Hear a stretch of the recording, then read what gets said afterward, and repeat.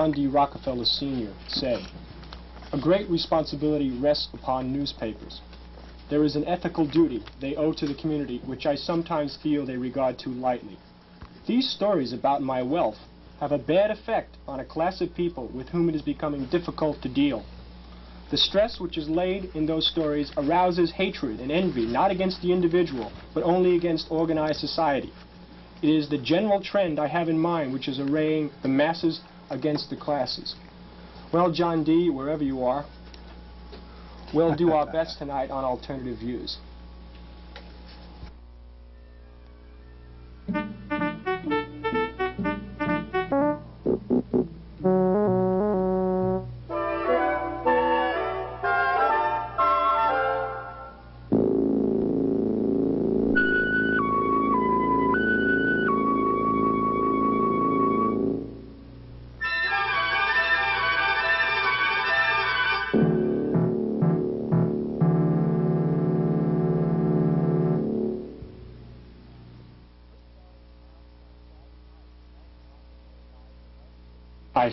Welcome to Alternative Views.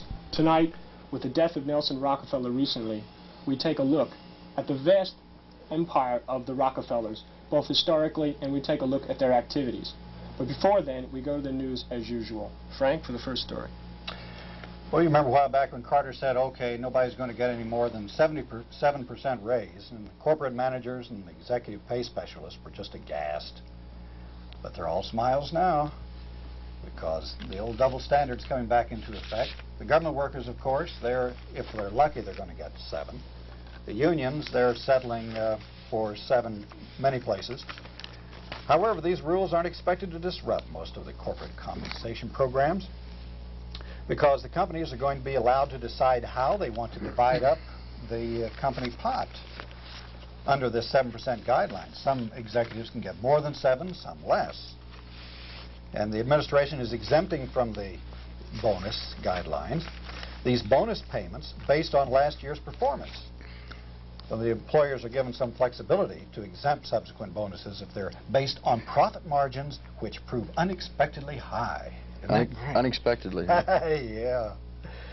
And it also um, allows employers to exclude from the guideline uh, the effects in legitimate promotions and changes in workforce compensation. So now the businessmen are smiling again and they're heaping praise in the White House on wage and price stability. These are the same people that were asking us to tighten our, tighten our belts here a few years ago and learn how to live with a reduced standard of living. Yeah. Today we got two economists here with us, so I'll ask them, what is the significance of this? Uh, there was a little mention in the Wall Street Journal that foreign holders of U.S. debt received $15 billion in interest in 1978. Does that have any particular significance as far as our economy or the continuing uh, taking over of uh, industries and land by uh, foreign interests, or does it have any significance? It's been going on all, all these years.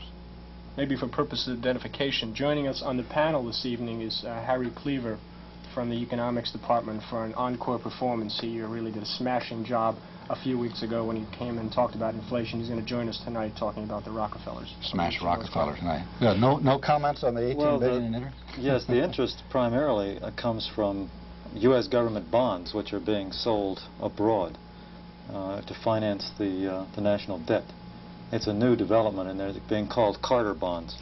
Uh, many of them are being, uh, bonds are being sold for foreign currencies, and interest is being paid on that.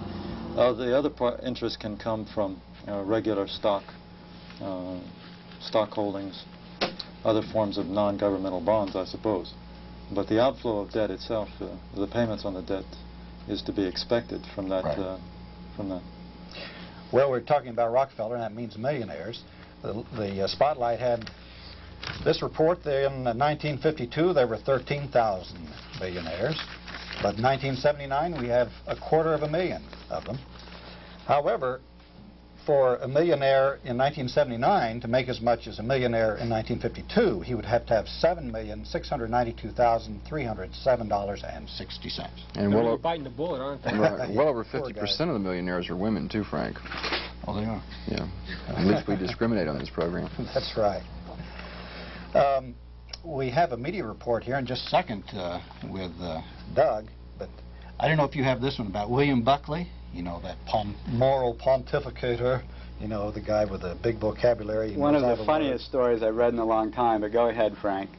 No, well, if you got it, go ahead. Go ahead. Okay, anyway, um, Buckley ha personally has to repay more than $600,000 to stockholders of a company, the uh, Star Broadcasting Group, of which he was chairman. The Securities and Exchange Commission ruled that Buckley and other directors fleeced the stockholders for Buckley's personal expenses by employing devices, schemes, and artifices of fraud, and they made mistake, uh, misstatements of facts and operated as a fraud and deceit in their manipulations of corporate property. I mean, he's a staunch defender of free enterprise, too, isn't he? Basically, they were very inefficient and they lost a lot of money. And in order to cover their debts, they fleeced the uh, stockholder. Buckley uh, almost lost his entire fortune on this and said he's never going to get engaged in any business ventures again.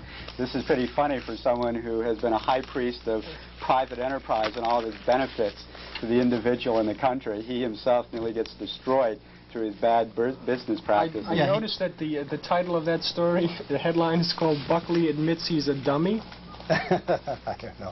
Well, see, the thing is, Buckley, I, they, they say there that Buckley uh, says that he knows every word in the dictionary.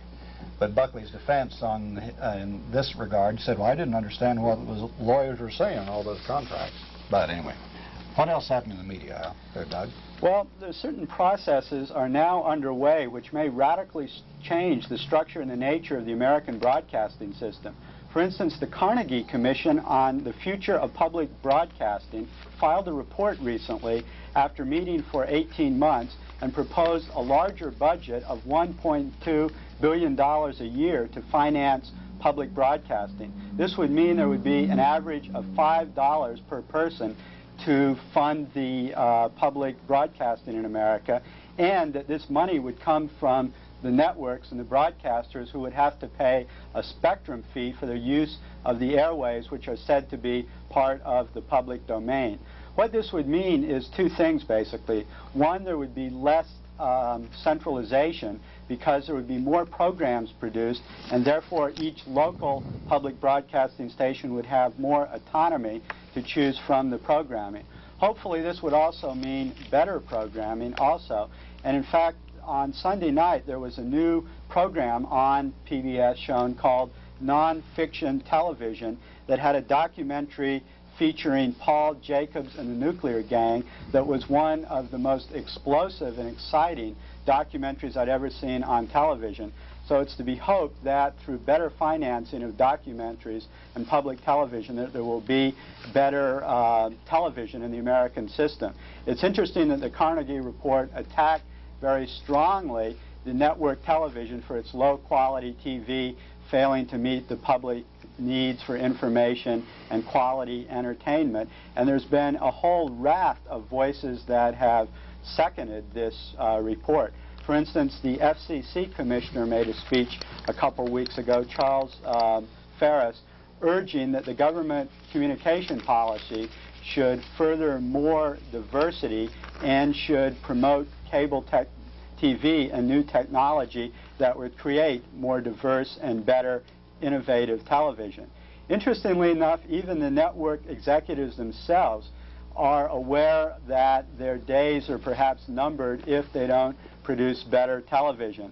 Some ABC top executives the other day in this um, meeting uh, told this convention that the network of the future would be mostly sports, news, and uh, special events programs, and that entertainment would mostly be through video cassettes and special uh, production companies. But perhaps the most interesting uh, indication that the networks are aware of the low quality of their entertainment and the need for better quality television comes from none other than Will, William Paley himself, who, uh, in his memoirs that are going to be published um, next week, called As It Happens, makes the proposal that um, each network should put two hours a week aside for quality television production. Unfortunately, Paley has gotten a cold shoulder from the other network executives who don't want to sacrifice even two hours of their precious time for higher quality television. Anyway, there's interesting changes underway in the American TV system that we will keep you aware of and keep analyzing the failures or perhaps successes in the following days. Doug, how, how significant in- an increase is it uh, in the budget? Uh, You say that the proposed is 1.2 billion. What was it previously? Well, it previously? Um, previously, it came to about $2.80 a year per person, whereas now it would be $5. So it's almost doubling the budget. So that's the most significant proposals that have ever been made for the funding of public broadcasting. And since President Carter argues that he's in favor Yes. of more money and, and better uh, public broadcasting, this is encouraging. The question is, can they get the broadcasters to cough up the money? through this uh, spectrum fee. So far they're opposing it, but that the government can uh, force it on them, which would make possible uh, this better public television without any expense for the taxpayer. I've got some labor news here, uh, gleaned from several sources. In 1978, there were fewer strikes than there had been in the past, well, actually within 13 years. But these strikes were of longer duration. And there's still a lot of struggles going on. After 18 months of a fight, unionists won contract with Coca-Cola Bottling Company of Laredo. A GM plant in Shreveport is now unionized as part of a southern strategy of the union organizers. Efforts are going on in other plants uh, all around the South. The next big one, uh, big target, is Oklahoma City. There's a series of shipyard strikes, too, in Pennsylvania, two of them in Great Lake uh, ports. Uh, these were all settled within that 7% guideline, but there's a contract in Lorain, Ohio that was rejected. That strike's still going on. Perhaps the most significant one, historically, is the fact that undocumented workers have signed their first labor contract. An Arizona citrus farm uh, grower, uh, which is partly owned by uh, the brother of Senator Goldwater, signed a contract with these undocumented workers. Lettuce workers are in strike in California. I guess that's getting a lot of play in the media. For some reason, they selected that one. The big strike in Newport News is still uh, going on with the, uh, against the Tenneco shipyard there. And Harlan County, where the, that just mind-boggling uh, movie was made. Harlan County, Kentucky, 14-month-old strike is still going on. Pickets are mostly women, it's been reported.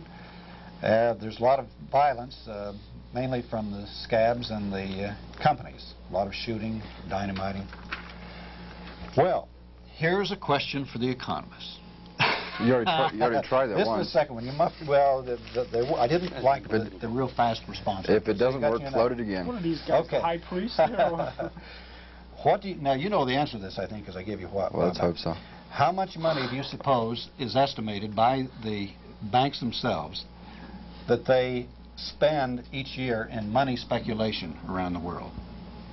Remember that one? In 50 countries around the world, guess how much money they spend? Is this a rhetorical question, or can I answer it? number Yeah, two. Do you have any idea? Do you have any idea what Yeah, it is? fifty trillion dollars in the last oh, year Oh, alone. You remember. Yeah, Okay. fifty trillion dollars in foreign currency speculation by the banks of the world. And th- remember, for those of you who can't remember, the GNP of the United States is roughly two trillion. So the potential, I think, for destabilization is certainly there at the least. Well, you've got some more economic news. Since you answered the question correctly, sir, you've got to go on and give some economic I get to go to the bathroom too. Well, actually, my news is, is mostly Rockefeller news, uh, in keeping in, in, in tone with the theme of the program. If, um, for those few of you who have managed to hang with us here for these many months, you remember we did a program on the Trilateral Commission, and I believe it was brought out then that one of the central tenets of the Trilateral Commission, which is this think group, or how would you how would you describe the Trilateral Commission? Um, Bunch of badasses. well, no, just a bunch of fun guys Oh, who get okay. together and play cribbage and discuss you Yeah, know, just a controlling bunch of- economic systems yeah. or something. Yeah. But uh, one of the central tenets of the Trilateral Commission was to centralize uh, economic decision-making and, and control over the, the economy. Of course, it's always done in our best interest to, to, to uh, help get us through these rough spots, these, these things that keep happening, these recessions and depressions and what have you. And um, there are some of us who believe that the method of doing this is through the banks, and I mean primarily through banks who are promoting mergers. This is something that's very difficult to prove um, because of the confidentiality of, of most of the information you need to prove that there's something going on here. Uh, but at any rate, in the Wall Street Journal recently, we have a rather interesting article on one of the Rockefeller banks, Chemical Bank of New York, and its attempts to promote a merger between two of its clients, which if it hadn't gotten messy, would have been, you know, it would have been cut and dried and, and it would have been finished with by now, but this is one of these so-called hostile takeovers. Um, the problem here is that since, Washington, uh, since Washington Steel and, and Talley Industries are, are both uh, clients of um, Chemical Bank, Chemical Bank is in possession of some very, um, well, they're, they're, they're in, they stand a, a chance of making a big gain is what I'm trying to say, actually. They got a lot of have a lot of, inside right, they have an awful lot of inside information. Uh, of course, the banks counter with the Chinese wall argument that, all right, we have trust departments who buy stocks uh, for their clients. Of course, the banks buy stocks, though this is a no-no. Uh, banks buy stocks by creating Hickory Dickory Dock, was it? Hickory Dickory Dock, yeah, and, and all these fictitious street names. But they also have loan departments, and most of you, like myself, have been to the bank at some time or another, gotten a loan, and you know that you pretty much have to bear your, your bottom to them and tell them everything about you.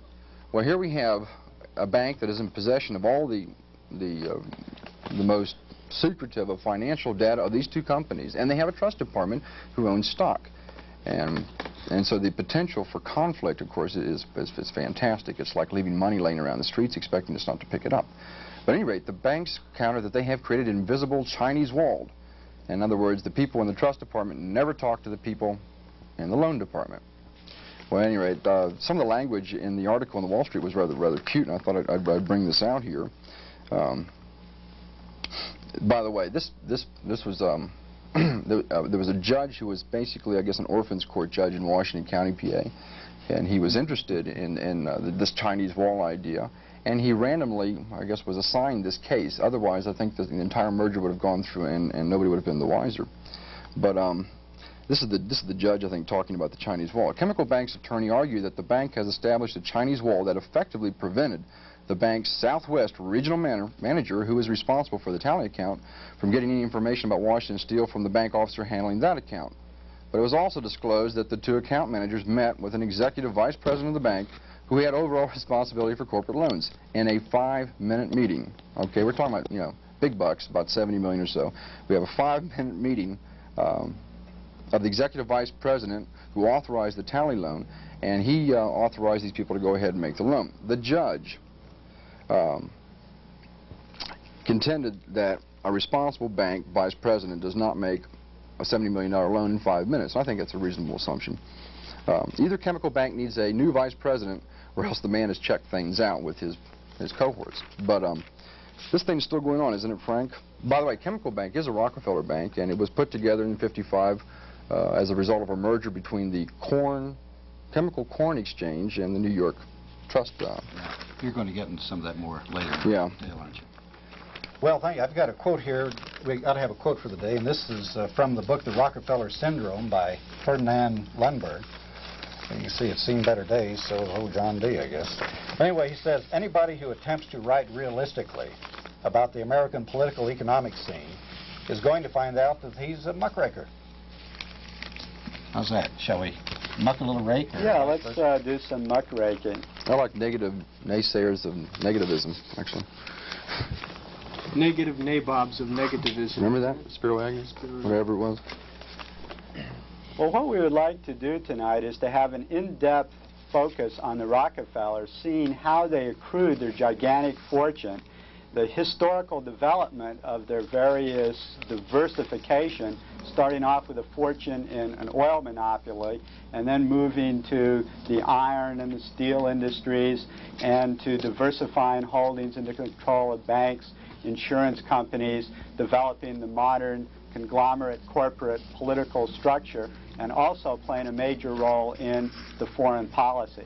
I'm going to begin with a brief historical analysis of how the Rockefellers first accrued their fortune.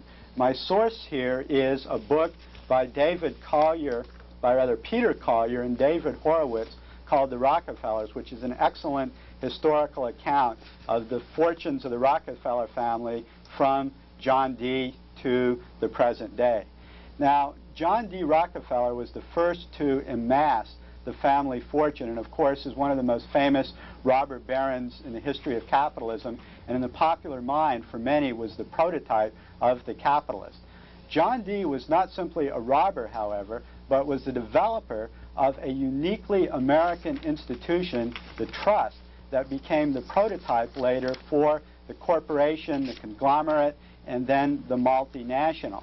Hence, whereas other robber barons were interested in swindles or monopolizing one corporation or simply in making a lot of money, Rockefeller was interested in evolving a whole corporate structure and financial empire. He got his beginnings in the Civil War when, in a grain commodity business, he made a lot of money and sniffed profits to be made in the new oil refinery industry. So he got more and more interested in the oil industry and started setting up refineries with other Cleveland businessmen. By 1870, he incorporated Standard Oil as the first uh, major oil corporation.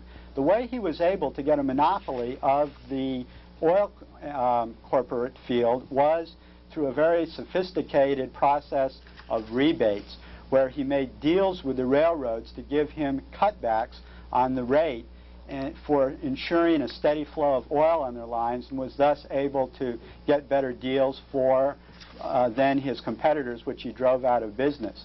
The way he did this in the final crushing blow was developing what he called the South Improvement Company, where he made secret deals with the railroads, which raised the prices to carry the oil from the fields to the refineries, and then gave rebate to Rockefeller and his friends that drove most of his competitors out of business.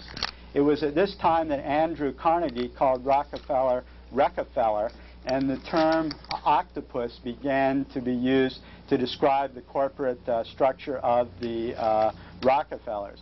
So by 1880, the Standard Oil controlled 95% of the oil produced, and it also won Rockefeller a lot of um, uh, hatred, and he started getting heat from the government. The Pennsylvania legislature declared the uh, South Improvement Company illegal. A lot of people who Rockefeller had driven out of business was suing him. He was getting a bad press, and there was a lot of uh, uproar and antitrust agitation from the muckrakers. Well, Rockefeller then developed a new corporate structure, the trust, to diversify ownership, in which he put the ownership of the oil trust in different names and developed this incredibly complicated corporate structure to confuse the issue of ownership, which was a form, of course, of corporate um, conglomerate structure which the Rockefeller heirs would um, uh, perfect. Moreover, at this time, this is the 1880s, Rockefeller went into foreign oil in a big way and soon controlled the world market. The American government strongly supported Rockefeller's interventions in the foreign oil field and when his massive China market was threatened by nationalist um, agitation, the Secretary of State, John Hay, issued the famous open door policy, which meant basically an open door for U.S. corporations to exploit foreign markets and the threat of military, uh, U.S. military force to back it up. So in a sense, this is the beginning of a, a corporate imperialist foreign policy in the interest of the um, corporations. With the introduction of the automobile, the combustion engine, as well as airplanes, oil became one of the biggest uh, commodities in the new industrial uh, system. And with World War I, Rockefeller uh, became tremendously famous. He started getting more and more heat, though, from muckrakers, and more and more agitation started to uh, bust up Rockefeller's trust. So he began developing uh, philanthropy. This actually went back to the early 1890s, where Rockefeller's uh, religious conscience, he continually tithed 10% of his money, perhaps his guilt, as well as the desire to create a better public image, led him to hire a certain Reverend Fred T. Gates, who started a uh, philanthropy uh, foundation for um, Rockefeller. Well, this too led to increased fortune, as it turned out, for the Rockefellers because Mr. Reverend Gates was able to acquire certain oil deposits in Minnesota and certain mines in Colorado that enabled Rockefeller to make deals with um, Carnegie and Morgan to establish the U.S. Uh, Steel Corporation, which again uh, increased uh, Rockefeller's corporate holdings. Moreover, Rockefeller seemed to succeed in this time with public relations through his philanthropy, whereas earlier in the days of uh, the trust, in the early days of his amassing his fortune, he had a very bad public image as a greedy capitalist. With his philanthropy, people began to soften a little bit, and John D. Rockefeller's public image uh, began to um, soften a little bit. Now, it was at this time that Rockefeller, uh, around 18, um, 1915, began to develop some problems with the uh, labor movement. Jack, do you have a story on um, Rockefeller and the uh, Ludlow mine strike in Colorado? I better. I'm standing over here. Uh, well, it seems that anyone who tuned in for our program um, a couple weeks ago on labor history uh, probably found out that we have a very bloody hist- labor history in this country, and probably some of the bloodiest days of our history is the Ludlow, what has come to be called the Ludlow Massacre, uh, Ludlow, Colorado. It seems that the uh, Colorado Fuel and Iron Company, which was Rockefeller dominated, would not allow uh, the organization of the union. And in the fall of 1913, the workers went on strike for, to recognize the union. Now, that's a bad time to go on strike in Colorado. Uh, they were forced out of the company-owned housing, and I think we have a picture of the company-owned housing. This is not exactly spacious uh, quarters and luxuriant quarters to begin with, but uh, the Taj Mahal compared to what they faced in the in the winter of 1913-1914. You have here, I think, yes, a tent colony. Now, can you imagine yourself in Colorado pitching tents, women and children? And that's the way they spent until uh, April of 1914, when, I think I have a picture here, the Colorado militia. Now, the Colorado militia were not really uh, pub- a public body, a publicly authorized body. There were co- actually co- uh, people on the Rockefeller payroll who were put in militia uniforms. And on the morning of April 20th, 1914, uh, they machine gunned the tents. There had been a great deal of rancor and discord between, obviously, the strikers and the, and the authorities, but they machine gunned the tents and set, set fire to the tents uh, with oil, uh, burning uh, 13 uh, women and children and killing another 13 strikers, bringing a total of 26 strikers. Uh, this uh, particular episode in American history earned Rockefeller the title of the most hated man in history. And I think we have a, a shot here of the of the death pit itself where 13 women and children died. What happened was these pits were anticipating there would be gunfire. These pits were built. And when they heard the machine gun fire, the women and children retreated into the pit, but they didn't anticipate that the, uh, the guards would set it on fire. And there was a great deal of public outcry about this, but Rockefeller pretty much, John D. the senior at least, defended his position. Uh, John D. Jr. Uh, relented a little bit, but not so much that uh, he would give in. Wilson, eventually, President Wilson sent in troops in April of, uh, of 1914. The troops stayed. The workers facing another strike in December of 1914 gave up. The strike was broken, and they went back to work. That's it, basically.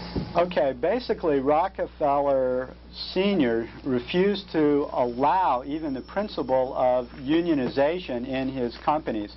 John Jr. finally relented and allowed what was later called company unions to be founded, in which a group of people in each corporation consisting of the corporate managers and some workers would from time to time get together and discuss problems and grievances. But the Rockefellers uh, opposed unionization uh, constantly. Now, as an aftermath of the uh, murder of all the workers in Colorado, Rockefeller Jr. was called up before the Industrial Relations Commission in Congress in 1915 and questioned as to his policy there. And it's interesting that a uh, union leader, John Lawson of the United Mine Workers, said, it's not their money that these lords of commercialized virtue are spending, but the withheld wages of the American working class. Help for China, a refuge for birds, pensions for New York widows, and never a thought of a dollar for the thousands that starved in Colorado. The point he was making was that the philanthropy of the Rockefellers that was so widely publicized was financed from the low wages that uh, were paid to the uh, workers. Anyway, Doug, excuse me, you said he was called in front of a committee, whatever came of it. Uh, ma- mainly, he got uh, a tongue lashing at so. uh, this committee that was run by this guy named uh, uh, Walsh, but uh, nothing really came out of it in terms of legislation uh, or any improvements in the uh, workers' um, condition. Now Harry Cleaver is going to tell us how Rockefeller's policy of philanthropy in the South was the model for the program in the foreign policy interventions that the Rockefeller family would later do in their so-called underdevelopment policies. Harry, would you like to uh, begin? Well, I suppose that nothing is easier than to paint the Rockefellers as villains when it comes to uh, comes to business. More problematic are the, indeed the philanthropies because there was much more to them than simply creating an image behind which Rockefeller could carry out his illegal and, uh, in the case of the Ludlow massacres, deadly business practices. Around the turn of the century, Rockefeller was involved in setting up a number of philanthropies and they operated primarily in the South. The General Education Board was set up in 1902. The Rockefeller Sanitary Commission was set up in 1910. And Excuse me, The- the Rockefeller Sanitary Commission? yes, the Rockefeller Sanitary Commission, which is not a joke, because in that during the late 19th century and early 20th century, the South had a major problem with hookworm, which is a virulent, uh, debilitating disease in which your intestinal system gets full of Yeah. uh, parasites. It's from walking barefoot, right? That's right. It's similar to schistosomiasis in Mhm. the third world. Thanks to the Rockefeller's expenditures and the Rockefeller Sanitary Commission, hookworm was all but eliminated uh, in the United States. The intervention through the General Education Board was the essential uh, force which created public education in, in the South, the United States. And third, the interventions of the Rockefellers into agriculture through supporting Seaman Knapp's, farm demonstration programs, led directly to the Agricultural Extension Service of the Department of Agriculture. In these three areas, then, agriculture, health, and education, Rockefeller, through the philanthrop- philanthropies, made a major intervention into Southern society in, in a way which one can hardly dispute brought great benefits to the people of the South. Now, the reasons for it, of course, are somewhat different. Uh, one doesn't have to uh, seek purely humanitarian uh, reasons for these interventions because, in fact, the architects of these interventions were conscious of the fact that what they were doing was engineering a social transformation of the South to knit it into the larger emerging national economy. And the intervention in education, in health, and indeed in, in the farms was designed to transform the nature of the labor force, to make it more healthy, more productive, more skilled, so that it could be integrated into the emerging industries in the South, in which, of course, Rockefeller and friends had considerable interest. Well, effectively, this was the first intervention of the Rockefellers, uh, and indeed of, of U.S. policymakers in an underdeveloped country, because the South was very much an underdeveloped country at the time. And it lay the basis for their subsequent interventions in other parts of the world. Primarily, in the 20s and in the 30s, was the intervention into China. It can be said that in, in the case of China, despite the American open door policy, American government had no China policy. Its only policy consisted of trying to make sure that American banks, including the Rockefellers, got their share uh, of the loans from the Chinese that were given to the Chinese government. In other words, to make interest, the kinds of interest, Frank, that you were asking about in the case of the U.S. a little while ago. Uh, the major way of exploiting China at that time was to loan money to the governments and then be paid back with interest. And that interest was extracted from the Chinese people. All right? That's, that was the basic, the limits of American foreign policy, not for the Rockefellers. Rockefellers went in first in supporting missionaries, uh, and then with their own programs to try to transform Chinese agriculture, Chinese educate, create a Chinese educational system, and to improve the health in China. In other words, they reproduced in China all of the programs that, that they had used in the South, that they had developed in the South. And in fact, they used to bring the Chine- Chinese who were being trained for these programs back to the South to observe the programs that they had set up there. All right, those programs in China were very progressive. Nobody else was doing anything like it, except, of course, the communists. There was, as you know, for 40 years, there was a growing revolution in China. Uh, the Chinese Chinese communists of one sort and another were very much interested in the transformation of the countryside against the kind of uh, quasi-feudal, quasi-capitalist social structure that existed at the time. And the Rockefellers were intervening in order to offset their influence. In fact, they intervened in, in order to do what they called setting up a third force. A third force was supposed to be between Chiang Kai-shek, who emerged as the leaders of the nationalists and the warlords that supported him, and the communists.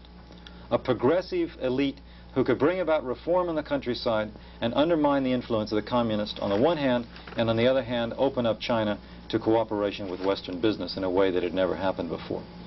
So that the experience in the South was fundamental uh, in that policy. And that policy, despite the fact that China was lost, was the basic lesson, uh, laid the basic lesson uh, for American foreign policy in the post-war period. Namely, the need to intervene in the third world to stabilize the countryside, uh, to avert revolution and make the world safe for multinational corporations and investment. Harry, wouldn't you say that the Rockefellers were the most class-conscious capitalists who were aware that if they didn't develop a uh, progressive industrial structure, social structure, in the third world countries, that they would be, quote, lost to communism. This is uh, the sense that I get from at least their Latin American interventions, that when Nelson and uh, John Jr. went down there to investigate uh, the oil in Venezuela and the whole social structure of Latin America, they became very aware, before any other capitalist did, of the necessity of developing social programs that would aid in capitalist development in these countries. Isn't this the case that they're the most uh, class-conscious uh, capitalists and that this is the mark of the Rockefellers in both their domestic and foreign policy? Yes, that's very true. Although in this period, most of this work overseas was being carried out by the Rockefeller Foundation uh, in the 20s and in the 30s. In the 30, late 30s and 40s, uh, the this work by the foundation, which was mainly run by John D. Rockefeller II and then John D. Rockefeller III, was supplemented by the activities of Nelson Rockefeller. In fact, and this is very important to see, the, the sophistication of these people. In 1939, when the Mexicans nationalized the Rockefeller oil interest in Mexico, the, the company screamed its head off. Standard Oil wanted, would have had government intervention, boycotts against Mexico, and send in the Marines if they could have got, if they could have acquired it. At the same time, Nelson goes down and negotiates a settlement with Cardenas, the president of Mexico, uh, spends the night with him uh, in Mexico, and comes back with an understanding of the rise of nationalism in Latin America and the need to use social programs to take a conciliatory approach in order to undermine that growing nationalism. In other words, not to respond with a big stick, but to respond in a cooperative kind of way, to make, in other words, to use the carrot, to make the uh, make American wealth essential to the stability of Latin America, rather than using the old club that is characteristic of the imperialist period. Okay, well, thank you, Harry. Now, as an introduction to our analysis of the Rockefeller family's present economic holdings and foreign policies, I might note that the Rockefeller Trust, the Standard Oil Trust, was first busted by Teddy Roosevelt in the so-called trust-busting administration uh, at the turn of the century and uh, forced Standard Oil to uh, diversify. However, what this meant in practice was there were many different owners now of the Standard Oil of New Jersey, of Pennsylvania, of New York, etc., that maintained a loose cartel under Rockefeller directorship. Moreover, at this time, the Rockefellers actually benefited from the trust busting because they began diversifying uh, their holdings and developed uh, a set of strong financial institutions such as the Chase Manhattan Bank, through which they were able to evolve their um, corporate conglomerate and multinational um, structures and also use this as the basis for increased uh, political power. So the genealogy of the Rockefellers was after John uh, Sr. gave over the Standard Oil uh, corpor Corporation to John Jr., he diversified the holdings even more into uh, iron, into uh, coal, and made some deals with Carnegie to set up the uh, United Steel Corporation, made some deals with his former enemies, uh, Morgan, so that when John Jr. was able to give his empire to his five children, people like David and Nelson and Winthrop, etc., they were able to have a tremendous set of uh, holdings, economic holdings of the most diverse sort. And I take it Al is going to uh, analyze some of the current economic holdings now of the Rockefellers. Well, I think you hit the nail on the head there, uh, Doug. The whole, I, a lot of people really don't know what the Rockefellers do for a living, and some, sometimes it's kind of hard to determine exactly what sort of productive uh, endeavors that they are engaged in. Um, they're really not your basic mom and pop grocery store owners, that's for sure. Uh, as Doug has mentioned, uh, they, they were into oil basically. But I think it's sort of along the lines of a pyramiding scheme. If you can control a corporation by controlling just a small segment of its stock, that's one thing. But if you have a bank, which through its trust departments has lots of, lots of stock and lots of companies, um, you can centralize your control. And this is exactly what the Rockefellers, as well as, I guess, the other 10 or 12 wealthy, mega wealthy families in the United States learned many years ago that you can control the corporations of the United States better, more efficiently, cheaper, the whole bit, by controlling a few financial institutions. Now, just to give an example of what I'm talking about, the financial institutions that are, that are known or called as the core Rockefeller Group, these are ones that are either founded by Rockefellers or Rockefeller people are on the board of directors.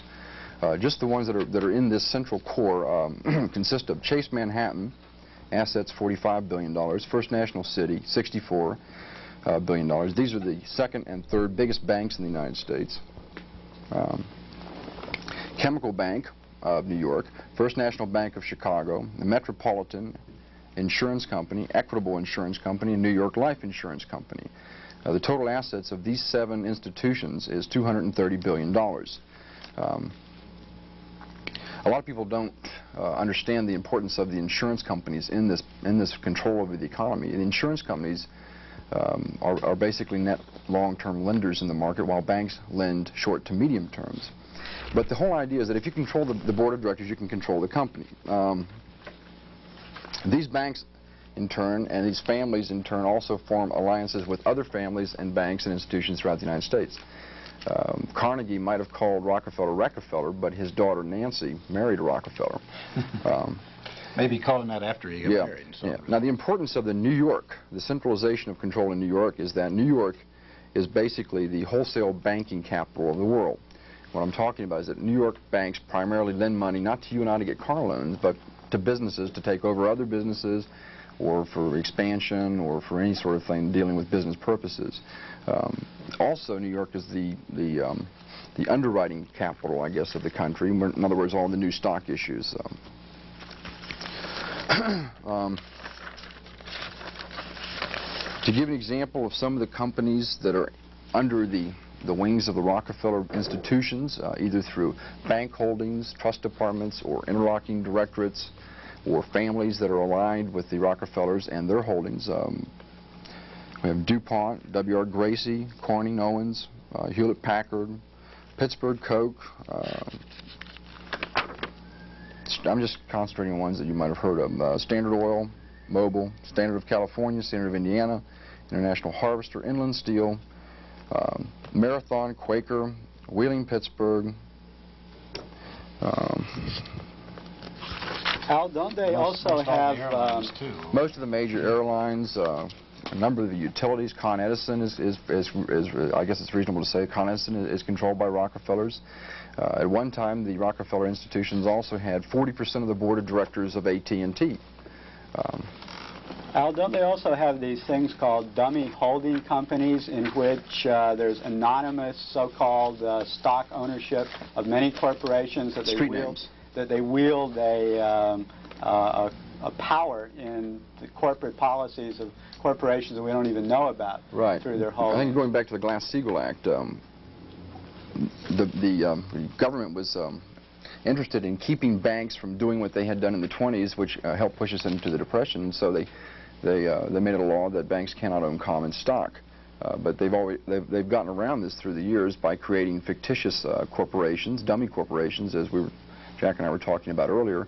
Hickory Dickory Dock is one. Um, and these dummy corporations, they exist only on paper. Um, these dummy corporations in turn own common stock. I think Nor uh, is it Northern Industries, one of the big conglomerates, about 30% of its common stock is owned by, by dummy corporations. ABC NBC, uh, and CBS are also controlled in this fashion. Al, what difference does it make whether or not the control is concentrated in this fashion? What do you mean? I mean, what difference does it make whether or not these corporations are controlled by a series of independent capitalists or whether or not it's controlled by a single family? I don't, I don't think I understand exactly what you mean. Well, You mean whether they're a whole bunch of little capitalists in a competitive situation Oh, I'm rather sorry. than a I'm monopoly sorry. situation No, where a few people can control and uh, uh, Right. direct things and well, it also relates into what I'm going to talk about also, which is uh, political political control, Yeah. and direction of the con- the direction of the concentration of so much power enables them to control both economic and political processes. Yeah, but more importantly, I think the access to credit. Credit is not is not traditionally used as an input in most models, but it probably it, it is the most important input in the economy. And if you control the access to credit, uh, you you have the potential for c- controlling the economy. But as well as the labor If- force. Take New York City and Cleveland, for instance. If you have uh, a few corporations controlling the political and economic processes of big cities, then they wield tremendous power over them. And we've seen that in the New York City uh, financial crisis, and we see this going on in Cleveland now. And it's no accident that it is banks and insurance companies that are playing a major role in the control of these cities. So I think that this is a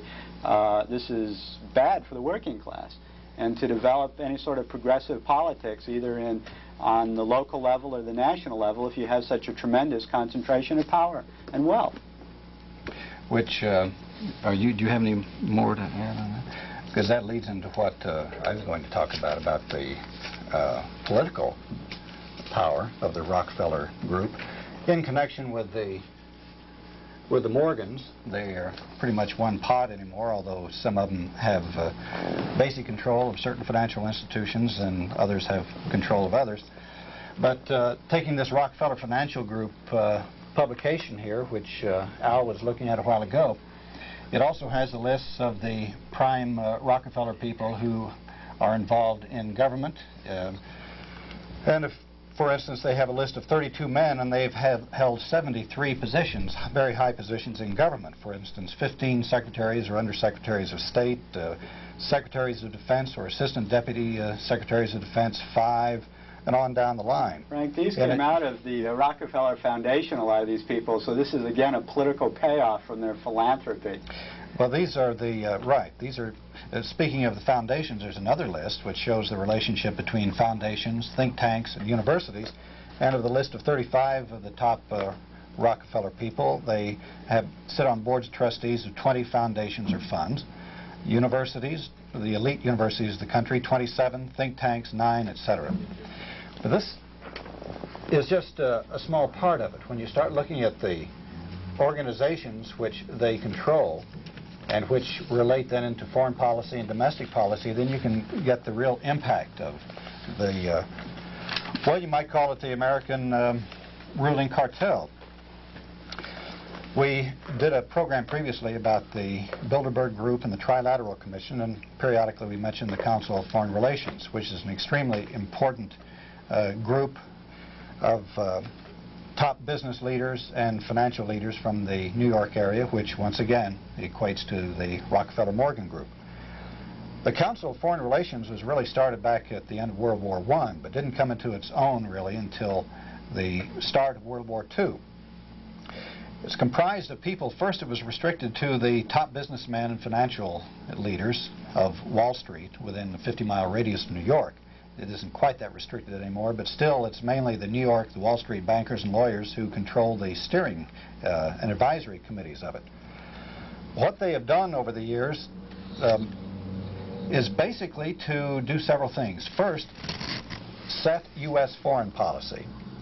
Second, determine what is acceptable in the way of policies and what is discussable in the proper governmental circles. They've also been very important in, in uh, determining a consensus and eliciting a consensus from the upper class, the particularly the large corp corporations uh, and the uh, American upper class. Now, when I say they largely determine foreign policy, there's a tremendous book that's just come out called Imperial Brain Trust by Shoup and It talks about the Council of Foreign Relations, and it indicates that starting when uh, starting World War II, before the U.S. entrance into it, the Council of Foreign Relations had some discussion groups, and these discussion groups, in turn, influenced government because there were people from the Council of Foreign Relations who were in top government posts, and these people were listening to their fellows in the Council of Foreign Relations. So much of our foreign policy, which ended in us getting into World War II against the Japanese, was a direct result of the policy set in the Council of Foreign Relations. Then, during the war, the planning for a post-war period, once again, was done mainly in the Council of Foreign Relations, and it uh, became so closely allied with the State Department that they actually moved offices into the State Department. And uh, the study groups, once again, the output of this actually became foreign policy in the United States. So the not only just the immediate uh, post-war policy, but also the extended post-war policy, including the uh, policy toward Vietnam, Guatemala, and Cuba the International Monetary Fund, the World Bank. These ideas were hatched from the Council of Foreign Relations and accepted by the U.S. government. When the government would have various special advisors, most of these people would be from the Council of Foreign Relations. Right now, there is a study, a 1980s project study going on, which they're determining what the entire international system will be, planning a new world order in which the United States will um, share power with some of its uh, capitalist friends around the world. Now, the Council of Foreign... Frank, can I Yeah. intervene? Ha- Maybe this is on, on a follow-up question to, ha to Harry's. Uh, Harry Magdoff, the author of The Age of Imperialism, argues that in a capitalist society, that, uh, imperialism, imperialism is not a matter of choice, it's a way of life and necessity. How would other capitalists, small-time capitalists, independent capitalists, plural capitalists, have, have brought about a, a different policy outcome as regards to the entrance into World War II or other interventions in, far, in foreign affairs? Well, if you look at the, for instance, you might say that if the Council of Foreign Relations and their outward imperialistic outlook had it not been effective, and had they not had so many people from the Council of Foreign Relations and the, um their sympathizers in the government, it might have well been that the Alf Landons, the uh, isolationists, might have had uh, greater influence in the government. Um, Secondly, uh, there was a great period right after the war in which the Morgenthau Plan, which was wanting a, a rather severe um, peace levied on Germany to not let them come back industrially, to make them uh, a, an agrarian state. Uh, and this was accepted by Roosevelt at first until finally uh, significant pressure uh, uh, was put on by the Council of Foreign Relations and this policy was changed. So I think that uh, mainly it, indicate, it would indicate that the more moderate wing of the ruling class had its way rather than the more conservative. The National Association of Manufacturers or, or the, um, you know, would have had its way. I think But also structurally it makes it possible to have a unified foreign policy because if you had individual capitalists each pursuing their own special economic interests, they would be squabbling among themselves all the time. They would never be able to get any sort of unified foreign policy or even domestic policy. So the fact of having this tremendous concentration of economic and political power centered around the Rockefellers and their various corporations and groups makes it possible to have something of a unified uh, thrust in foreign and dimension policy that wouldn't be possible without this form of organization that's made possible by their concentrations of power. and it makes it much easier for them to plan. Um, as we see now, they've gotten not just national, from a national basis, but an international basis. In the, this brings us to the Bilderbergers and the Trilateral Commission. Now, the Bilderbergers is a super secret organization which includes not only the top uh, U.S. industrialists and financial uh, people, but also their counterparts in the uh, Western capitalist world, particularly the NATO countries. This has been meeting since 1954, and I said in, uh, in secrecy. They take great pains to make sure that nobody knows about it, even though that there have been representatives from the establishment press in these meetings. Very, very little has ever come out about it. Not only are the industrialists and the bankers there, but also selected academicians, uh, government people, many of them who did not become heads of their government until after they attended Bilderberger meetings, and some of them attended Bilderberger meetings afterward. It's very interesting that the Council of Foreign Relations, the head man in that is David Rockefeller. The head man at the Bilderbergers is also David Rockefeller. And the top man of the Trilateral Commission is David Rockefeller. Now, the, the Trilateral Commission is a recognition that they needed to bring Japan in on this international consensus to try to eliminate rough spots and competition wherever necessary and cooperate in controlling the third world. Japan is strong enough now, so they recognize this. Well, the, at a Bilderberg meeting, um, Brzezinski and uh, David Rockefeller broached the subject. They thought it was a good idea, so they did set it up. And uh, so now we have the Bilderbergers in a way kind of the, or the Trilateral Commission is kind of the Bilderbergers out of a closet, plus Japan. Perhaps the most blatant power play has been the selection of uh, Carter to be President of the United States. He was a Trilateral Commissioner, so is the Vice President. And as we show here, 24 members, at least 24 members of the Carter Cabinet are from the Trilateral Commission, which uh, shows that they're not just a, uh, kind of sitting in the background and letting their representatives uh, run the government like they did uh, several years ago, but they actually are doing it on a very concerted and definite basis. And as I said, David, once again, David Rockefeller is uh, the head of the Trilateral Commission. So then we look over the years now at who have been the prime people in the U.S. government. We take a look at the Secretaries of State. As you see, a CFR means a member of the Council of Foreign Relations, a B means the Bilderberger, and trilateral TLC is Trilateral Commission.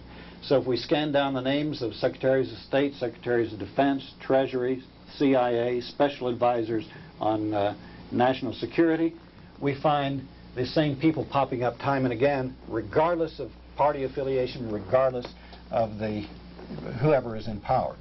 Actually, it's the same person in power argue all this the is time. basically the private government that runs things.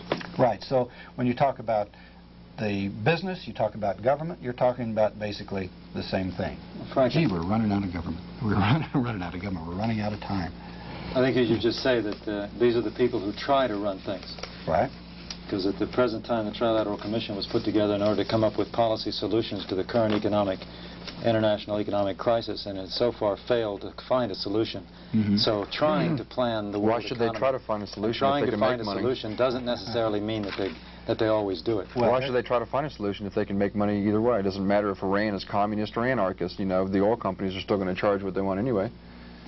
Well, Well, we that, that uh, will be seen. I mean, they're in an incredible state of anguish right now about Iran because they're afraid that they're going to lose control of the oil there.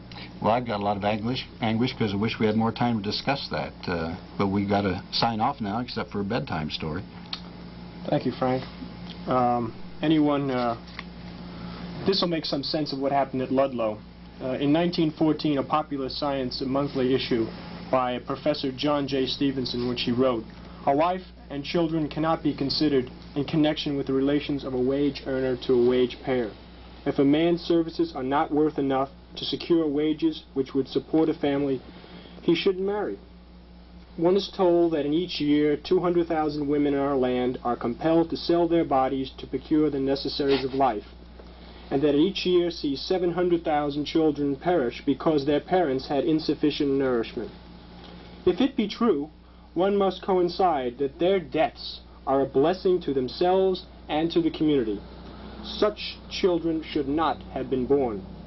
This article was praised by John D. Rockefeller Jr. as one of the soundest, clearest, and most forceful pronouncements he had ever read and recommended its use. Capitalist philanthropy. See you next week. Thanks for tuning in.